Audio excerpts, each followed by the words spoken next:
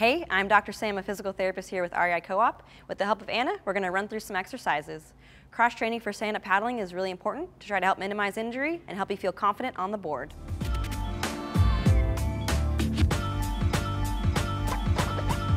For stand-up paddleboarding, we'll work on skater with uppercut, single leg deadlift, chop, lift, squat and row, side plank with leg raise, step up with lateral leg raise, hip clock.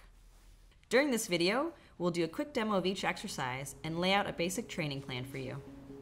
Remember, before you start any exercise, to consult your doctor or physical therapist if needed. Skater with uppercut. A great full body workout to incorporate a little bit of cardio while you work on balance and some of that rotational power is the skater with uppercut. So as Anna gets ready, she's really making sure that as she lands, her knee's not wobbling or going too far over her toe. She's staying nice and tall as she really comes through with that uppercut. A great way to make it easier is as she comes over, she's just gonna do a step instead of a jump. Do your best to do 15 each direction. Single leg deadlift. To really focus on balance as well as building up the endurance of your hip muscles, the single leg deadlift is a great way to work on that knee control as you're working on dynamic balance here. And you can see as Anna goes over, she's keeping that back nice and flat, not letting those hips wobble or her knee vary too much. Try to do about 15 to 20 each side per set. A nice way to make it easier is to go into this kickstand position and Anna's still focusing most of her effort on that front leg. And if you're really looking for a challenge, you can go into a full extended position, really working on endurance of those back muscles. Chop. With the chop, it's gonna be important to remember to keep those arms nice and straight and think about turning through the torso here. Anna's doing a great job of really letting her abs do the work and moving that resistance. You wanna shoot for a medium resistance band, trying to do 15 repetitions each side for one set. Some easy ways to modify it are moving away from that point of anchor and really making that band tighter, or you can move closer to your point of anchor and make that band a little bit lighter. Lift. As you do the lift, remember to really turn through your trunk and not your arms to minimize the loading on your shoulders. And then as you come through, really extending on your toe to work on uh, that glute versus arching through your back. Anna's only gonna do a few for us, but try to do 15 each side for one set. And then to make it a little bit harder, you can of course move away from your anchor point to make that band tighter, or you can move towards it and make it a little bit lighter. Shoot for a band that's about medium resistance. Single leg squat and row.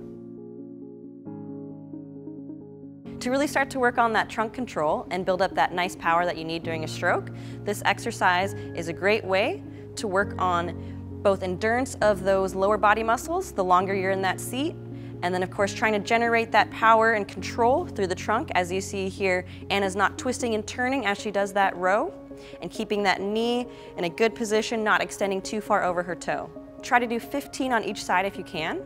To make it a little bit easier, Anna's gonna stay in this kickstand position to feel nice and stable. Side plank with leg raise.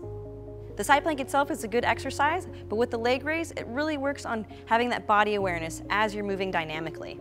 So as Anna gets ready, she's gonna make sure that her elbow is right underneath her shoulder, and when she lifts, her hip stays in line with her torso. As she raises, she's not wobbling back and forth. Try to do 12 to 15 if you can to make up one set. As you're going through it, don't forget to breathe. And then if you wanna make it a little bit easier, see if you can drop that bottom knee and then just lift that top leg. Step up with lateral leg raise.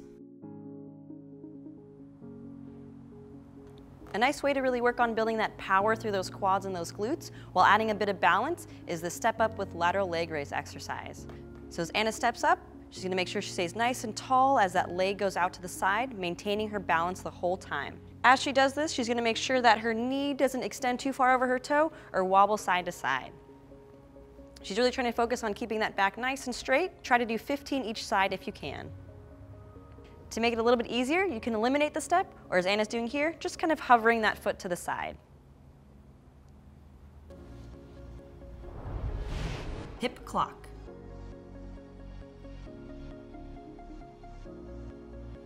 As you work through the hip clock, some things to remember are trying to not let that knee wobble.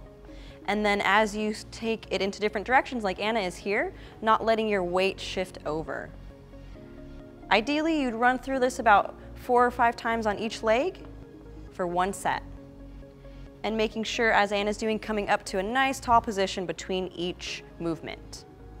To make it a little bit easier, try not to go out as far and really focus on that balance part of it. And then to make it harder, go ahead and see if you can squat deeper into each position.